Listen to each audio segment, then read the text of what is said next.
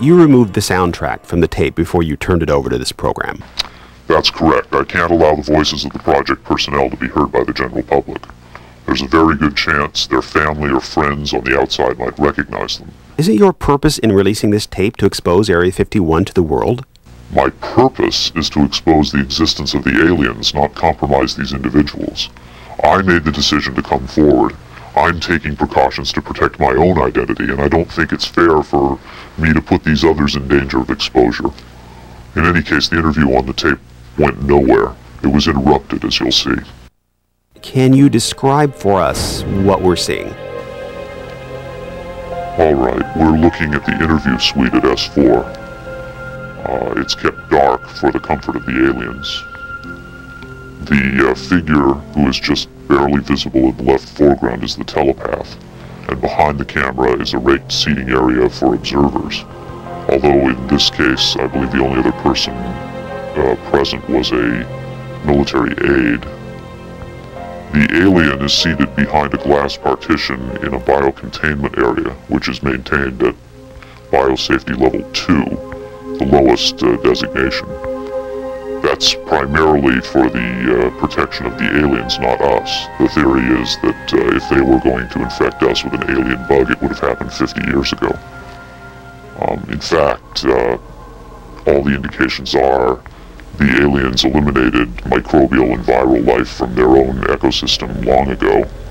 They aren't susceptible to our diseases directly, but it has been shown that microbes can reproduce and form colonies within their respiratory systems, which tends to exacerbate the debilities they seem to suffer anyway in our environment. Uh, in fact, you can see here the alien is beginning to flag uh, the interview was not going well. The telepath was trying to clarify some points from a previous interview, but he wasn't receiving coherent responses. As you can see, the being is in real distress. At this point, the telepath is uh, sending out a message to the medical staff. Uh, he's trying to communicate with the alien, but he's getting no response.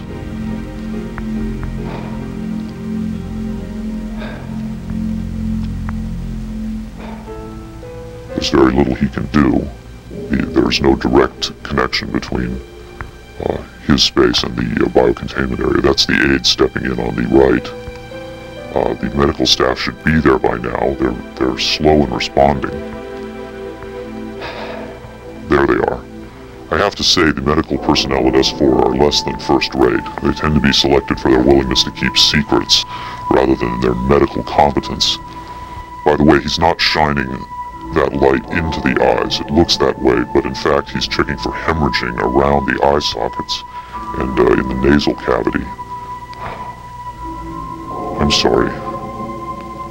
It's very hard for me to watch this.